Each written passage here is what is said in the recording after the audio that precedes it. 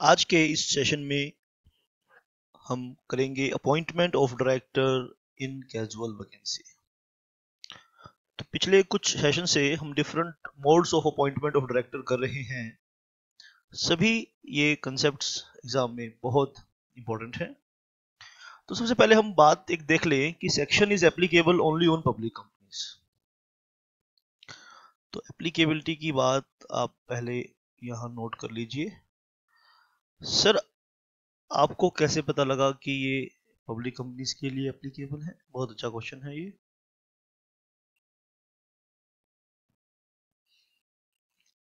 अभी last time एक session में मैं ये डिस्कस कर रहा था तो एक स्टूडेंट ने सवाल पूछा सर कैसे पता लगे, कैसे पता लगाते हो आप कि this section is applicable on public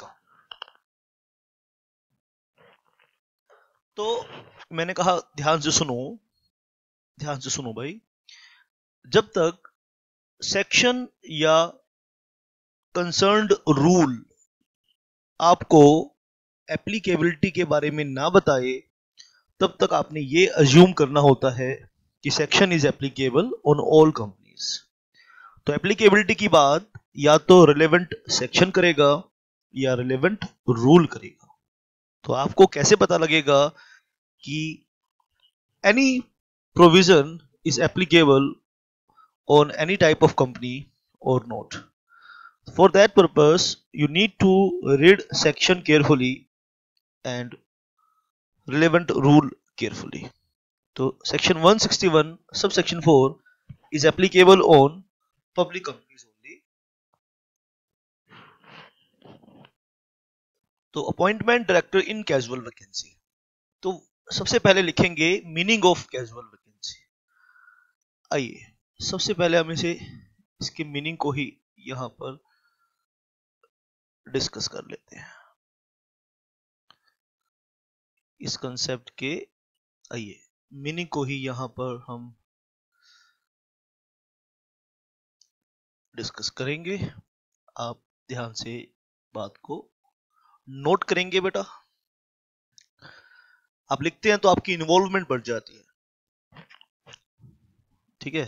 और अगर आपको सिर्फ़ सुनना है तो आपकी राइट हैंड साइड पर एक गियर गियर बटन है, उसे प्रेस करेंगे और आप लेक्चर की, के टेंपो को बढ़ा सकते हैं। टेंपो मतलब स्पीड को बढ़ा सकते हैं। ठीक है? आप लेक्चर के टेंपो को बढ़ा सकते हैं। टेंपो समझते हैं? क्या वर्ड यूज़ किया बेटा? टेंपो ठीक है? टेंपो वर्ड को समझना चाहते हो तो के एल सहगल या बाबा सहगल के गाने सुनना आपको समझ में आ जाएगा कि what is the meaning of tempo तो लेक्चर का टेंपो यानी स्पीड डिलीवरी स्पीड आप बढ़ाना चाहते हैं तो राइट हैंड साइड पर एक गियर बॉक्स है, उसे आप बढ़ा सकते हैं। अगर आप सिर्फ़ सुन रहे हैं, यदि आप सिर्फ़ लिख रहे हैं देन फिर आपको ज़रूरत नहीं है, फिर आप मेरे स्पीड के साथ ही चलिए और एक एक एक एक वर्ड को अमूल का मक्खन लगा लगा कर हम एब्जॉर्ब करेंगे अपने माइंड के अंदर। आइए बेटा casual vacancy refer to vocation of office है ना? कैजुअल वैकेंसी क्या है? मींस इसका मतलब है वोकेशन ऑफ़ ऑफ़िस यानी जब डायरेक्टर का ऑफ़िस वैकेंट हो जाता है तो उसे कहा जाता है casual vacancy of director sir her vacancy को हम कैजुअल वैकेंसी कहेंगे? नहीं भाई, हर वैकेंसी कैजुअल वैकेंसी नहीं है, ठीक है? हर वैकेंसी कैजुअल वैकेंसी नहीं होती। आपने बात को ध्यान से लिखना है। किस डायरेक्टर की बात कर रहे हैं? क्या सभी डायरेक्टर की बात कर रहे हैं? सभी डायरेक्टर की भी बात नहीं कर रहे और सभी कंपनीज़ की भी बात नहीं कर रहे। बहुत ही टेक्निकल है एक एक वर्ड टेक्निकल है। सभी वैकेंसी की बात नहीं कर रहे, सभी कंपनीज़ की बात नहीं कर रहे और सभी डायरेक्टर्स की भी बात नहीं कर रहे। आपको एक एक शब्द को लिखना है और याद करना है। मेरा व्हाट्सएप नंबर आपके पास है। ठीक है बेटा?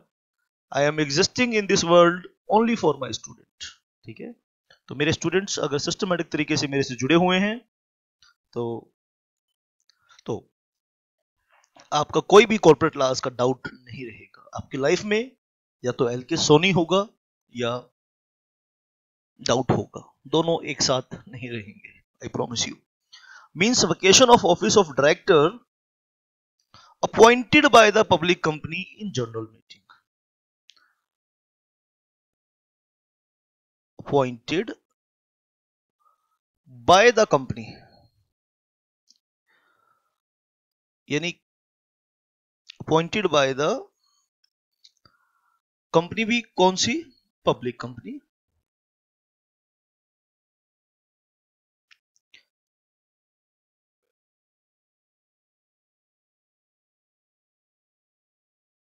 in general meeting in general meeting ध्यान से आपने ये वाली बात ध्यान से आपने लिखनी है।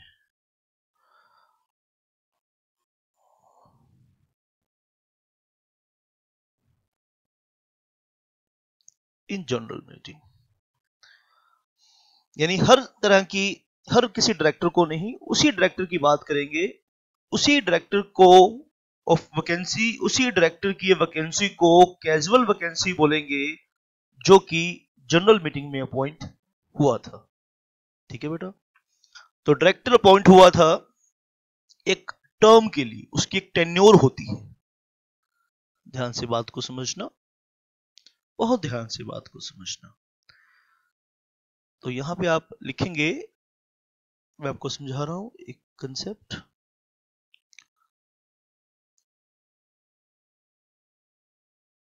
देखो बेटा this is date of appointment.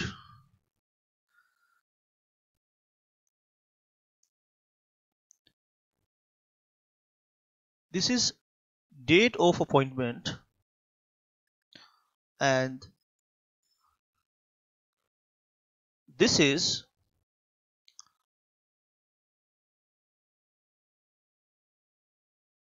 date of conclusion of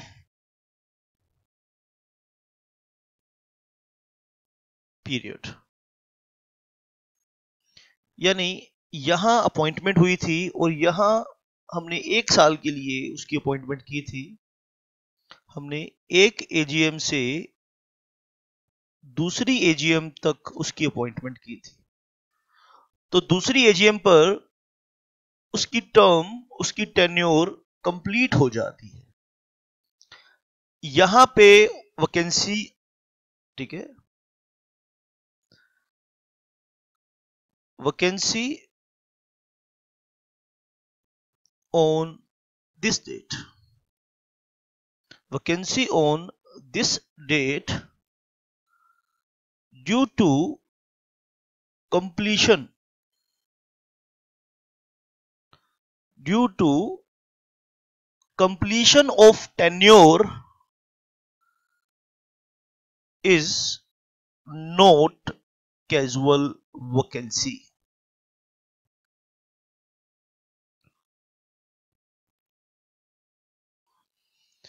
If office become vacant, ठीक है if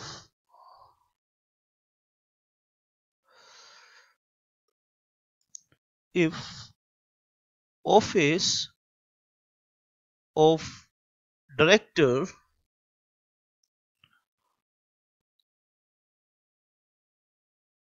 becomes vacant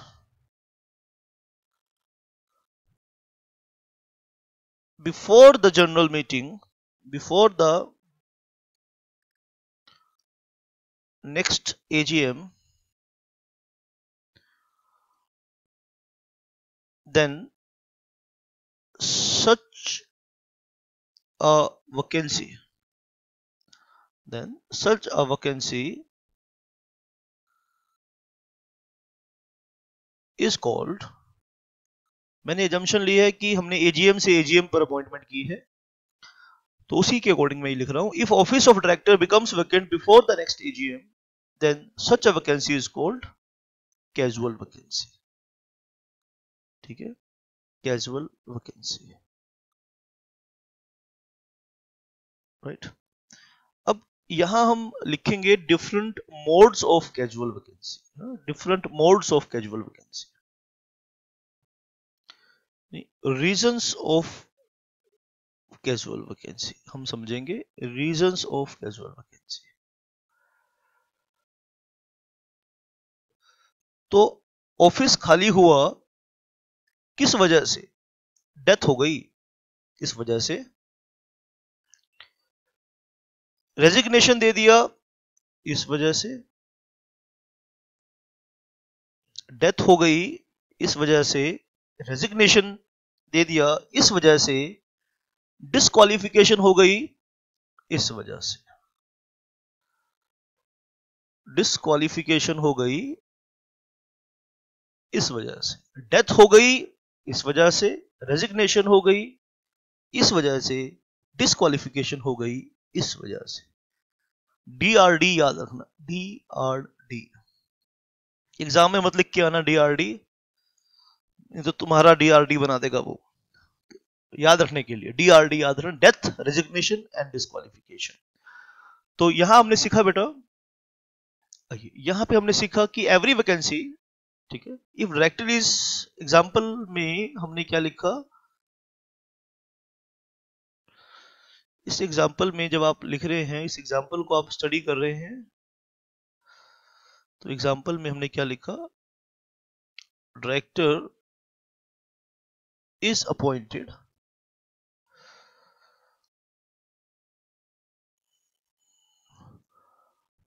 one AGM section की एग्जैक्ट वर्डिंग्स यहाँ पे मैंने नहीं यूज़ करी है, ये तो मोस्टली वही वर्डिंग्स यूज़ की है, लेकिन ये तो सिर्फ़ समझाने के लिए था director is appointed in one AGM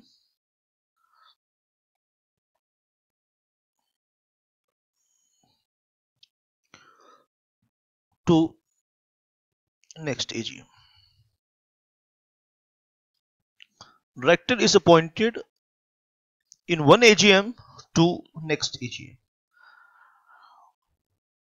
Section की एग्जैक्ट वर्डिंग्स प्रोविजंस को आइए हम यहाँ लिख रहे थे।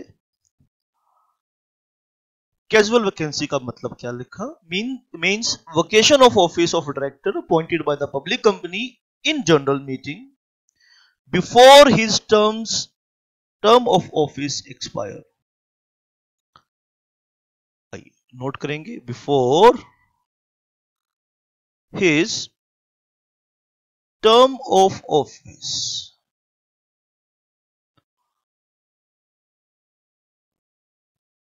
expires focus is the key focus कीजिए कंसेप्ट पर. ठीक है? In the normal course normal course क्या होता? यानी डेथ नहीं होती रिजिग्नेशन नहीं होता डिस्कालिफिकेशन नहीं होती तो वो वैकेंसी नॉर्मल वैकेंसी होती। ठीक है? तो यहाँ पर हम लिखेंगे what is normal vacancy normal vacancy is if it is not caused by death if it is not caused by retirement if it is not caused by disqualification. If it is not caused by disqualification.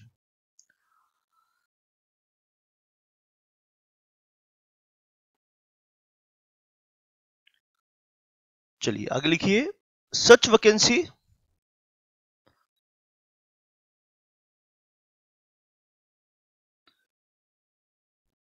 May be due to death may be due to death resignation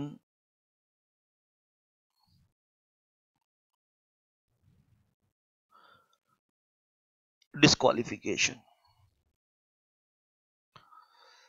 तो आपने बात को समझना है ध्यान से etcetera चलिए, हमने देखा what is the meaning of casual vacancy अब वैकेंसी हुई है तो वैकेंसी को फिल भी किया जाएगा। वैकेंसी को खाली नहीं छोड़ा जाएगा वैकेंसी को फिल करने का भी मेथड हम सीखेंगे। तो डिफरेंट मोड्स ऑफ़ हाँ लिखिए बेटा साथ में मेरे। लिख रहे हैं आप साथ में, ज़रूर लिखिए। Different modes of filling of vacancy आइए अलग अलग तरीके हम यहाँ पे फाइंड करेंगे। सेक्शन 161 सब सेक्शन 4 के according different modes of filling of casual vacancy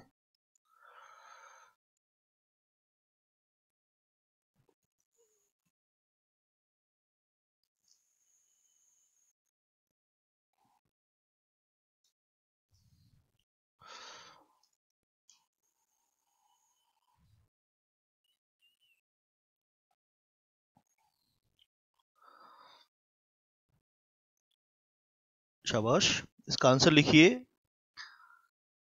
the casual vacancy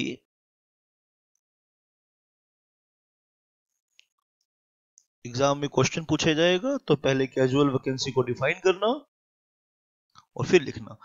casual vacancy मैं आपको परफेक्ट आंसर लिखना भी सिखाऊँगा।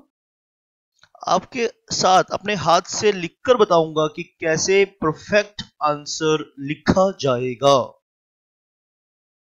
You need to write perfect answer और मैं सिखाऊँगा आपको, लिखकर दिखाऊँगा, अपने हाथ से लिखकर दिखाऊँगा कि how to write perfect answer flawless answer कैसे लिखना है? सभी टेक्निकल ग्राउंड्स पे, कोई भी मन में पेपर चेकर के मन में कोई भी पॉइंट आए और उसका जवाब उसे मिलना चाहिए। ठीक है? पेपर चेकर को अपना स्टूडेंट समझो कि जैसे कि वो आपका स्टूडेंट है, जो पेपर चेक करेगा आपका, ठीक है, उसे स्टूडेंट समझना यानी वो उस, आपका आंसर पढ़ने के बाद उसकी नॉलेज बढ़ जाए। देखो मैं क्या बात कर रहा हूँ। कर रहा हूँ ना खतरनाक बात? कि इतना ब्यूटीफुल आंसर हो आपका, इतना वेल स्ट्रक्चर्ड आंसर हो वर्ड यूज़ किया वेल स्ट्रक्चर्ड आंसर हो, कि आपका आंसर पढ़ के ना पेपर चेकर की नॉलेज बढ़ जाए। इतना खतरनाक करना है आपने काम। Casual vacancy may be filled up तो डिफरेंट मोड्स ऑफ़ हम फिलिंग ऑफ़ वैकेंसी देखेंगे। पहली बात सेक्शन कहता है as per the regulation in the articles of the company आप कैसे फिल करेंगे? अपने आर्टिकल में लिख लीजिए। As per articles of association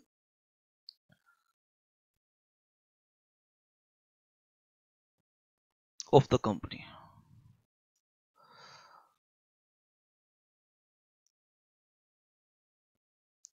दूसरी आर्टिकल्स साइलेंट हैं if no articles of association no provision in articles of association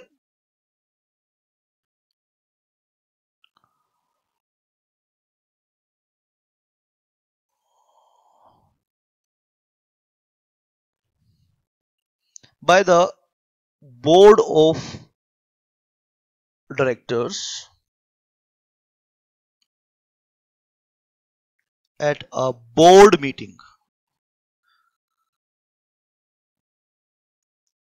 At a board meeting. और बोर्ड मीटिंग में डिसीज़न कैसे होते हैं? बोर्ड मीटिंग और बोर्ड मीटिंग में डिसीज़न कैसे होते हैं? थ्रू बोर्ड रेजोल्यूशन ठीक है? तो कोई भी डिसीज़न अगर डायरेक्टर्स को लेना है, ठीक है तो यहाँ पे इस पॉइंट को मैं थोड़ा सा एलोबरेट करना चाहूँगा आपको। लास्ट जो वर्ड है तो सवाल है how does how does board of director take decision for a company. How does board of director take decision for a company? Company के लिए डायरेक्टर्स डिसीज़न कैसे देते हैं how does board of director take decision for a company तो जवाब है जी by board resolution by board resolution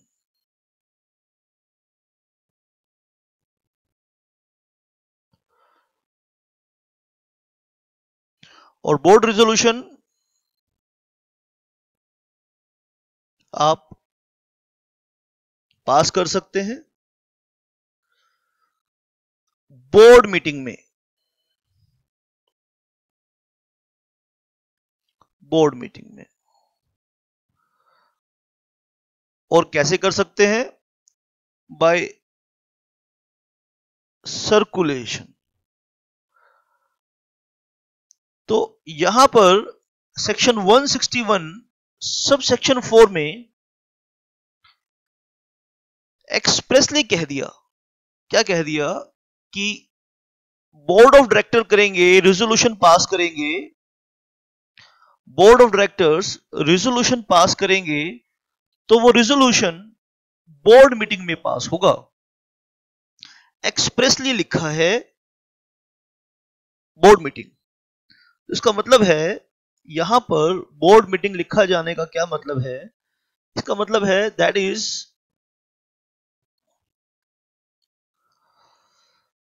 आप ध्यान से बात को लिखेंगे। That is note as note as by resolution by circulation by resolution by circulation तो रिजोल्यूशन दो तरीके से पास हो सकते हैं बोर्ड मीटिंग में भी हो सकते हैं और सर्कुलेशन से भी पास हो सकते हैं। लेकिन यहाँ पर सेक्शन 161 सब सेक्शन 4 में स्पेशली कह दिया उसने कि बोर्ड मीटिंग में रिजोल्यूशन पास करना है। चलिए, अब हम नेक्स्ट पॉइंट डिस्कस करेंगे। Tenure of directors appointed in casual vacancy आइए, अब हम डिस्कस करेंगे टेन्योर कोई भी पॉइंट नहीं छोड़ूँगा। ये लेक्चर अटेंड करने के बाद कैजुअल वैकेंसी पर कोई भी पॉइंट नहीं छोड़ूँगा। और इससे नेक्स्ट सेशन भी आपने अटेंड करना है, जिसमें मैं first directors additional directors alternate directors और डायरेक्टर इन कैजुअल वैकेंसी चारों को एनालिसिस करूँगा, चारों को इकट्ठी एक ही जगह समझाऊँगा। वो भी आपने अटेंड करना है। Tenure of director tenure of office of director सही तरीके से लिखिए। Tenure of office of director.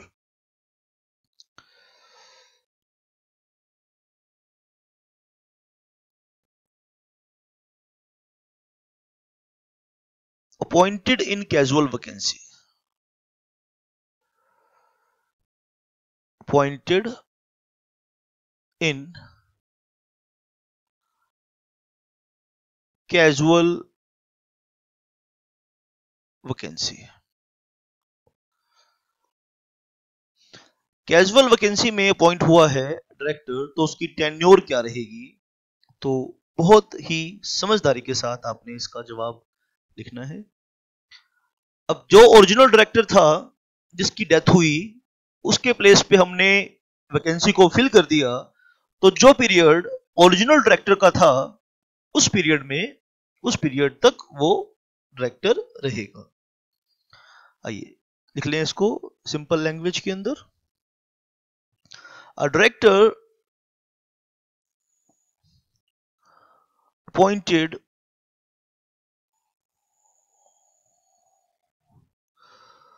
to fill a casual vacancy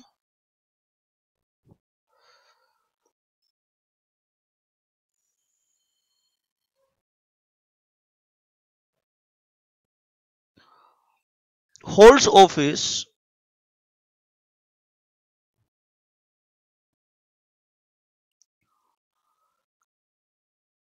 till the end of the term of the original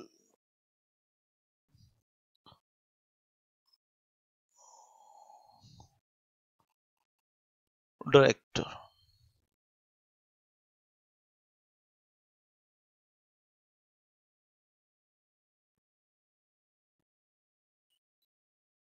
तो एक इंपॉर्टेंट पॉइंट आपने यहाँ पे और इसमें ऐड करना है।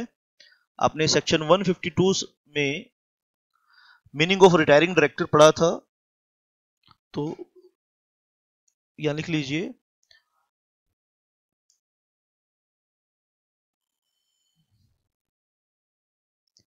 If a director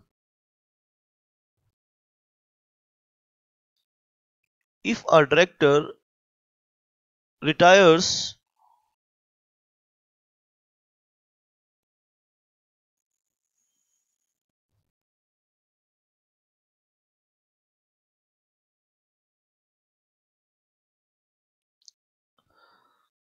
आप लिखिए if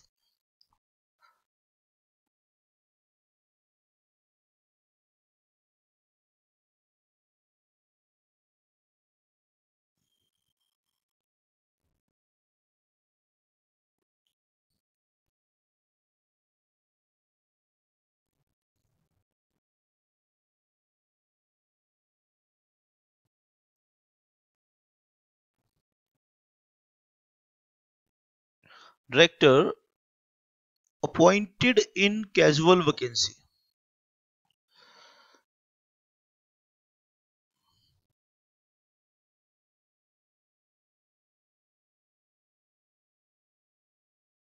Retires from office.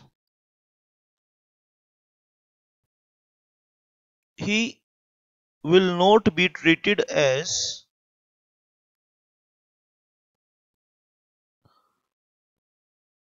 retiring director,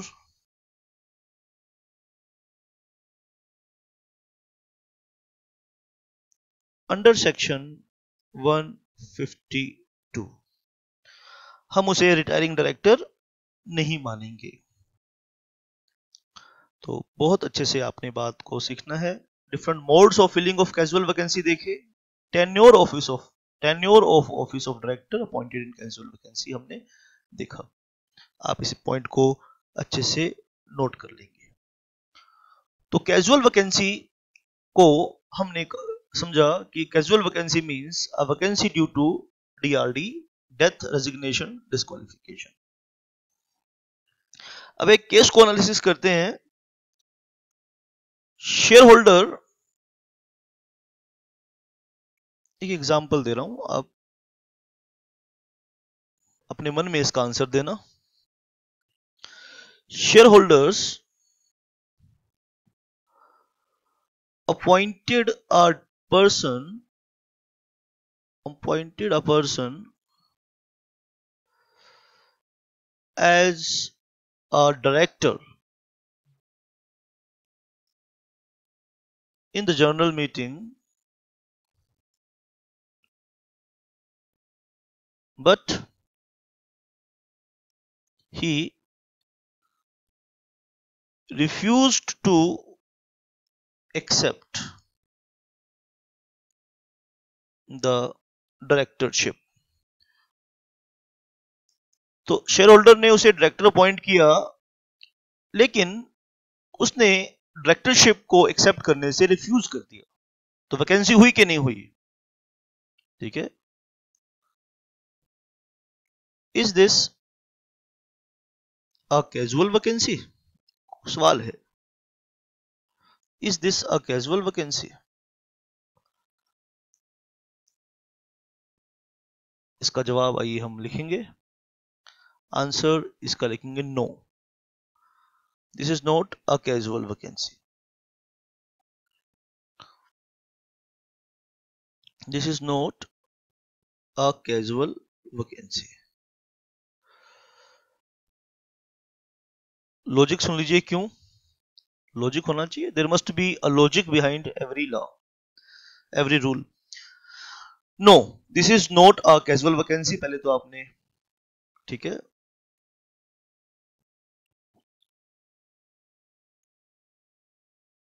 casual vacancy यहाँ पर नहीं क्रिएट होती है। क्यों नहीं होती है? भाई वैकेंसी का मतलब क्या है? पहली बात तो वैकेंसी ही नहीं है तो कैजुअल वैकेंसी कैसे मानेंगे? Vacancy of office vacancy of office does not arise सवाल ही नहीं है जी वैकेंसी का तो। Does not arise vacancy of office does not arise लिखिए, when the director had not, when the director had not assumed office in the first place भाई पहली बात तो ये है उसने ऑफ़िस एज्यूम ही नहीं किया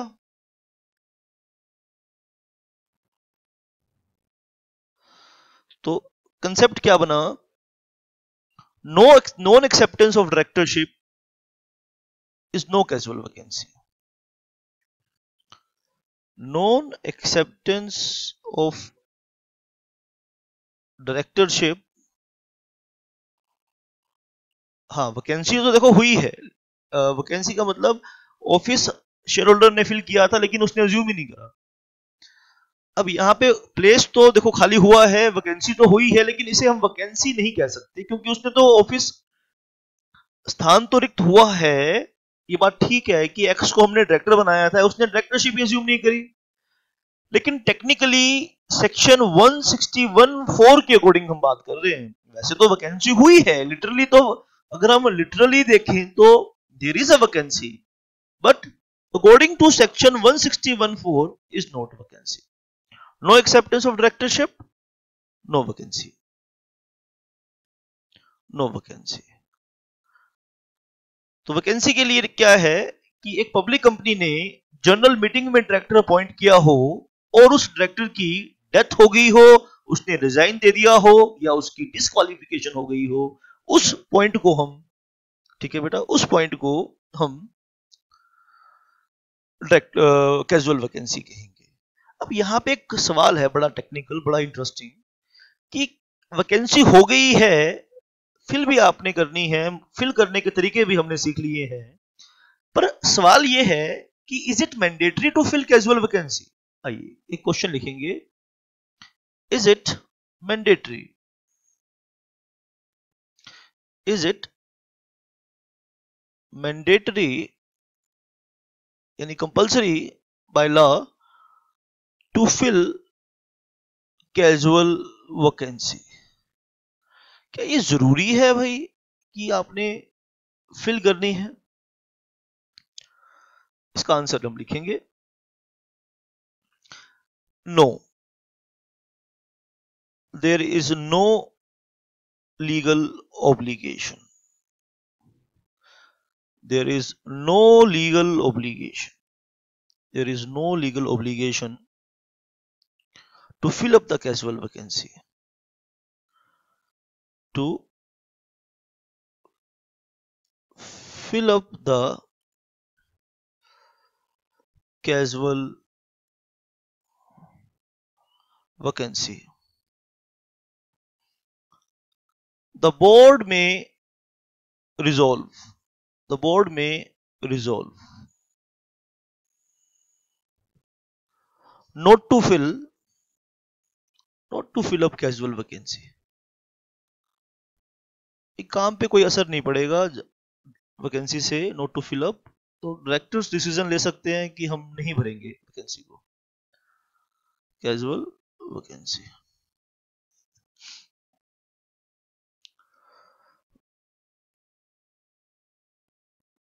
तो एक सर्कुलर भी मैं डिस्कस करना चाहता हूँ।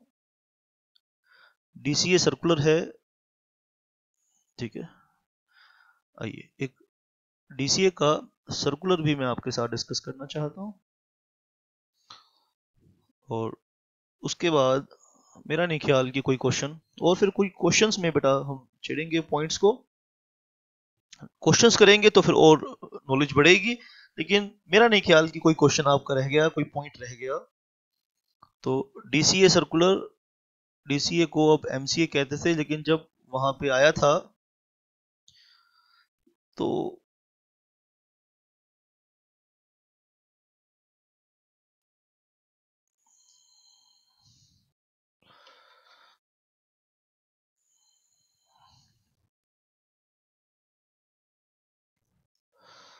डिपार्टमेंट ऑफ़ कंपनी अफेयर्स का सर्कुलर उन्नीस सौ सड़सठ का सर्कुलर है 1967 का है। 1963 का।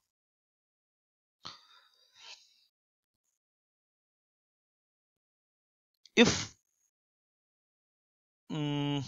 ऐसे लिखिए section 160 section 160 requirements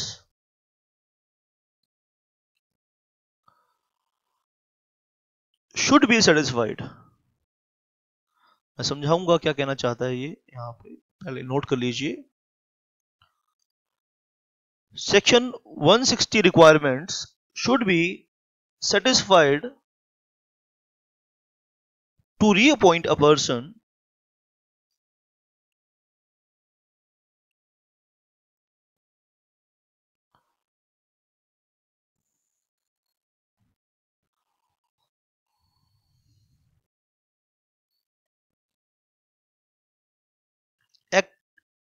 acting against the casual vacancy acting against या appointed for casual vacancy लिख सकते हैं acted against the casual vacancy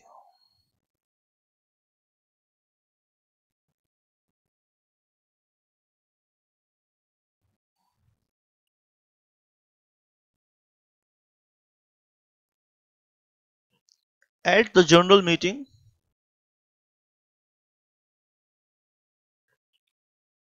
at the general meeting when the director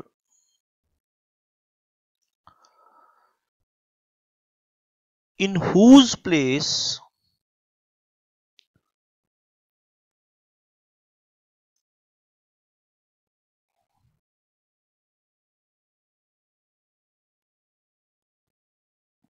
in whose place he was appointed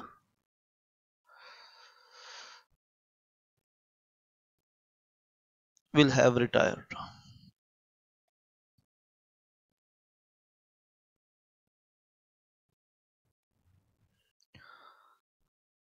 पूरे sentence को पढ़ लीजिए। एक बार दोबारा से डीसीए का सर्कुलर है। Should be satisfied to reappoint a person acting against the casual vacancy at the general meeting when the director in whose place he was appointed will have retired. इसके ऊपर एक एग्जांपल मैं देना चाहता हूँ आइए इस चीज़ को एग्जांपल के थ्रू समझाएँगे for example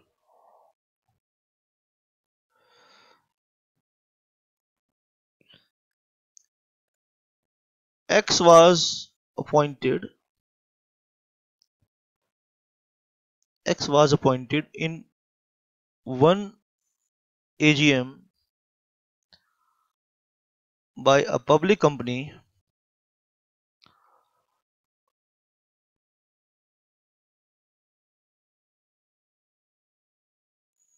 till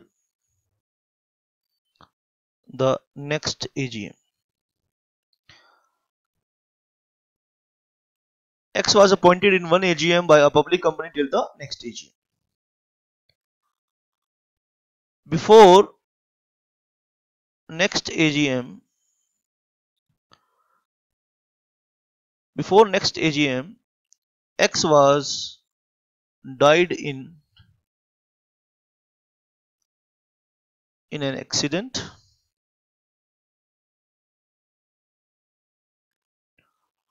To fill up the vacant place vacant place of x. Y was appointed.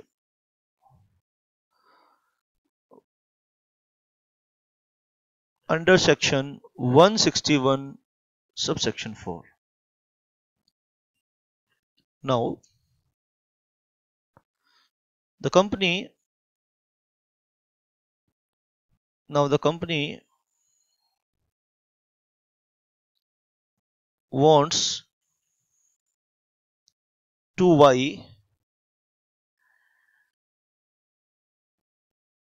as a regular director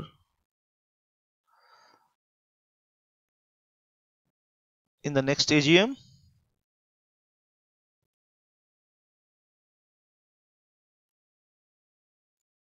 in the next AGM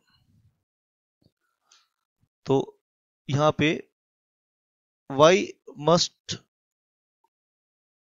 fulfill the requirements of section 60 160 तो किस person को section 160 की requirements पूरी करनी पड़ती है? Who is not a retiring director ठीक है? सेक्शन 160 की रिक्वायरमेंट उस पर्सन को पूरी करनी पड़ती है जो कि रिटायरिंग डायरेक्टर नहीं है। अब टेक्निकली एक आम आदमी के पॉइंट ऑफ़ व्यू से देखें, वैसे टेक्निकली तो वाई रिटायर हुआ है, लेकिन नहीं। वाई को हम रिटायरिंग डायरेक्टर नहीं मानेंगे।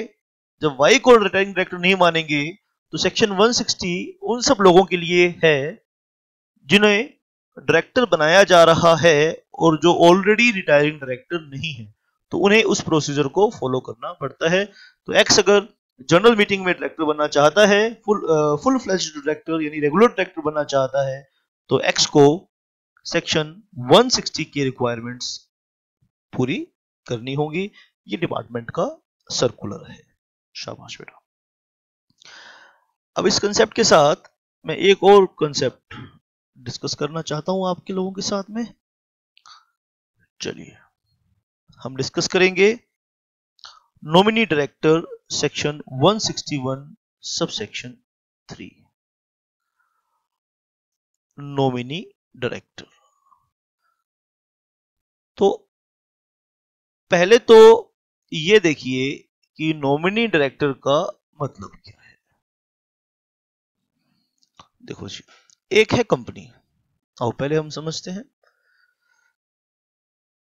एक है कंपनी और इस कंपनी को बल्क में लोन चाहिए।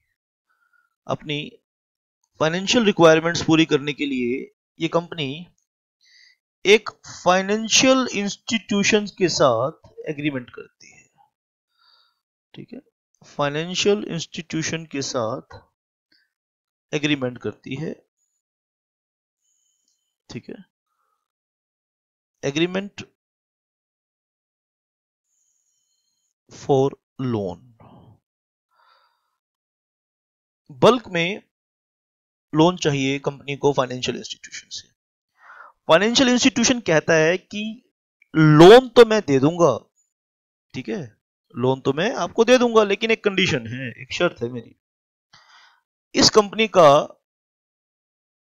कंट्रोल किसके पास है? इस कंपनी के बोर्ड ऑफ़ डायरेक्टर्स के हाथ में इस कंपनी का कंट्रोल है। यानी इस लोन से जो मनी आएगा, जो मनी कंपनी के अंदर इन्फ्यूज होगा, उसको यूज़ कौन करेंगे? ये डायरेक्टर्स करेंगे। तो वो उनका use for the purpose of loan उसका यूज़ कैसे होना चाहिए? उसका यूज़ दो तरीके से हो सकता है। एक तो उसका प्रॉपर यूज़ हो सकता है, यानी जिस मकसद के लिए वो लोन लिया है या मिस यूज़ भी हो सकता है उसका हाँ मिस यूज़ भी हो, पैसा हो सकता है। तो financial institution put a condition on the company कि we shall represent we shall appoint a director in your board of directors तो फाइनेंशियल इंस्टीट्यूशन एक कंडीशन रखता है, ठीक है? nominates a person. Nominates a person as director nominates a person as director in the board of directors of borrowing company. क्या काम करेगा director यहाँ पे? He shall act as a watch for for the interest of financial institution shall work as a watchdog for the interest of financial institution. Financial institution financial institution के interest को वो look after करेगा। ठीक है? क्योंकि financial institution इसे nominate कर रहा है तो किसी, कोई इसकी सिफारिश कर रहा है तो इसीलिए इसको बोल रहे हैं यहाँ पे नॉमिनी डायरेक्टर तो इस पर्सन को हम बोलेंगे क्या? नॉमिनी ऐसे पर्सन को हम क्या बोलेंगे? नॉमिनी डायरेक्टर तो सेक्शन 161 सब सेक्शन 3 में आइए इसका कंसेप्ट हम नोट करेंगे और अच्छे से इसे सीखने की कोशिश करेंगे। सेक्शन 161 सब सेक्शन 3 में ये कंसेप्ट है। नॉमिनी डायरेक्टर का। आप लिख लें तो बेहतर रहेगा, याद नहीं रहेगा, क्योंकि छोटी छोटी बातें याद नहीं रहती हैं। नॉमिनी डायरेक्टर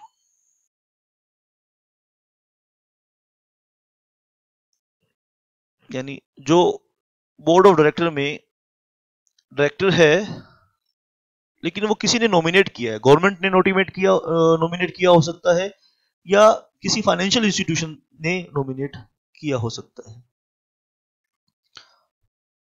तो लिख लीजिए subject to articles of association of a company देखो 163 सब सेक्शन फोर पढ़ रहे थे, अब हम थोड़ी देर पहले, वहाँ पब्लिक कंपनी जब तक पब्लिक कंपनी एक्सप्रेसली ना कहा जाए, जब तक एप्लीकेशन की बात स्पष्ट तरीके से ना कहा जाए तो हम ये मानेंगे कि प्रोविज़न सभी कंपनीज़ के लिए है। The board may appoint.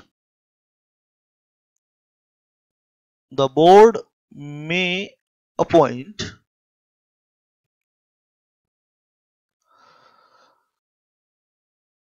Any nominated person. Any nominated person.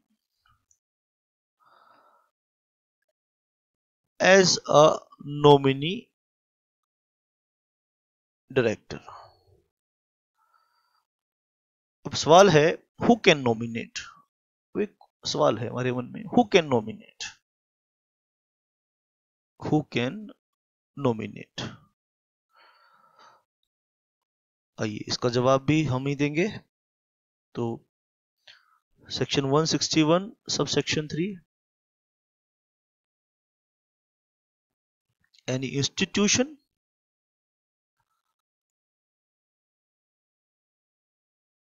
any institution और दूसरा है सेंट्रल गवर्नमेंट सेंट्रल गवर्नमेंट कुछ बच्चे सीजी और एसजी लिखते हैं मेरी तरह।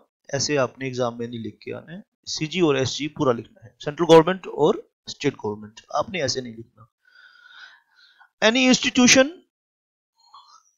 कोई इंस्टीट्यूशन कब कर पाएगा? एनी इंस्टीट्यूशन कोई भी इंस्टीट्यूशन आके कहेगा कि मेरे डायरेक्टर को नॉमिनेट कर लो। नहीं भाई, उसके लिए प्रावधान रखा है। क्या प्रावधान है उसके लिए? आइए, लिख लीजिए इस बात को। In pursuance of in pursuance of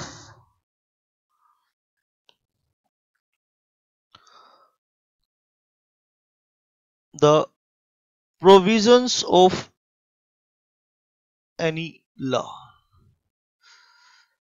उस फाइनेंशियल इंस्टीट्यूशन के ऊपर कोई लॉ एप्लीकेबल होता है। मान लीजिए वो फाइनेंशियल इंस्टीट्यूशन एल है। और एल ये कहता है कि अगर LIC किसी कंपनी को एक हज़ार करोड़ से ज़्यादा का लोन देगी तो अपना नॉमिनी डायरेक्टर ज़रूर अपॉइंट करेगी। तो any institution in pursuance of the provision of any law किसी कानून के चलते फाइनेंशियल इंस्टीट्यूशन के पास पावर आ सकती है to appoint director in the company provisions of any law for the time being in force for the time being in force.